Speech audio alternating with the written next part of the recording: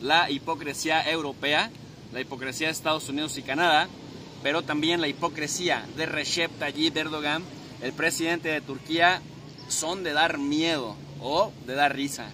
Y es que Recep Tayyip Erdogan recientemente, recientemente criticó con ferocidad la política israelí de exterminio de los pobladores de la franja de Gaza, los cuales han señalado en el marco de esta barbarie que se está cometiendo en Palestina, no solamente contra el Hamas, específicamente contra pues, los pobladores civiles, con el anuncio de que Israel lo anunció a través de Naciones Unidas, que le daba 24 horas a un millón de pobladores de la franja de Gaza para que desalojaran el norte de Gaza. Un millón. Imagínense lo que significa eso en términos de logística. Porque va a empezar a bombardear de forma masiva, como si mil bombas al día no fueran lo suficientemente asqueroso. Bueno, en ese contexto Erdogan salió a decir que no se podían permitir las violaciones a los derechos humanos, al derecho internacional humanitario, al derecho internacional público que está haciendo Israel. Y tiene razón. De hecho, gobernantes europeos dijeron que en este momento Erdogan, en su calidad de presidente de Turquía y por la cercanía que ha tenido con el gobierno de Israel, pero también por su simpatía con los palestinos, podría fungir como un actor relevantísimo para ayudar, contribuir a pacificar el problema en la franja de Gaza. Bueno, hasta ahí todo va, digamos, eh, coherente.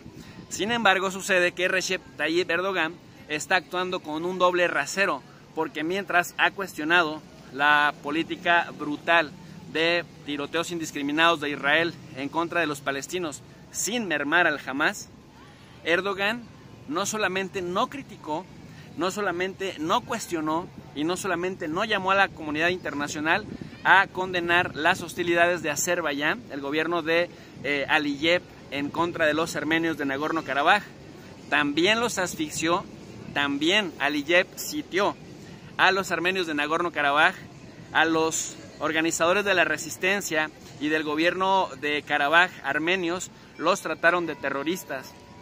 Y en septiembre nosotros vimos cómo en cuestión de dos días, con una brutal, un brutal bombardeo por parte de Azerbaiyán contra los armenios de Nagorno-Karabaj, que ya habían estado siendo presa de ese sitio, eh, evitando que pasara alimentos durante 10 meses, en donde Erdogan guardó silencio, pero además fue a Naciones Unidas a reiterar que estaba del lado de Azerbaiyán.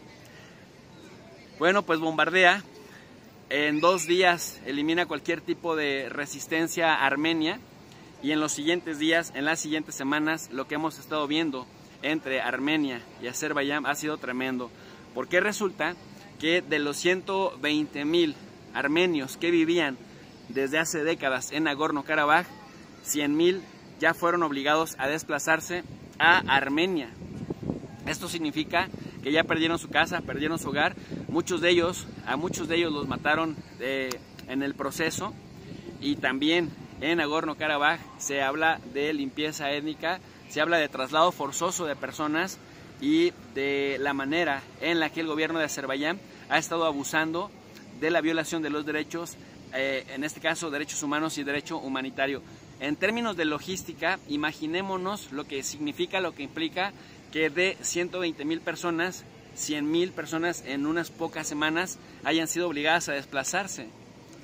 Erdogan, repito, no solamente no lo condenó, sino además lo apoyó y públicamente lo externó en Naciones Unidas. La pregunta es, ¿por qué tanta hipocresía? ¿Por qué si nos duele el sufrimiento de unos y no de otros? ¿Por qué no hay coherencia? La respuesta es muy sencilla. La política, la política pareciera, no solamente en México o en América Latina, eh, que hubiera sido hecha para mentir, y para no creerles a ningún político cuando hablan, pero la política es el arte de ponernos de acuerdo, la política es el arte de la negociación, la política debiera ser la herramienta para que las diferentes sociedades, las diferentes culturas, los diferentes miembros de las diferentes religiones, pues lográramos mínimos de coexistencia pacífica. Sin embargo, ha quedado claro que la política se convierte en el arte del cinismo y en el arte del doble estándar. Y bueno, ahora lo vemos de manera clara con estas posiciones ambiguas, ambivalentes del gobierno de Recep Tayyip Erdogan, que me parece le restan credibilidad cada que expone algo, cada que se posiciona con respecto a un tema, ya no digamos nacional propio de Turquía, sino de la misma comunidad internacional. Pues hasta aquí nuestro análisis. Si les ha interesado lo que dijimos, su poderoso like. Gracias.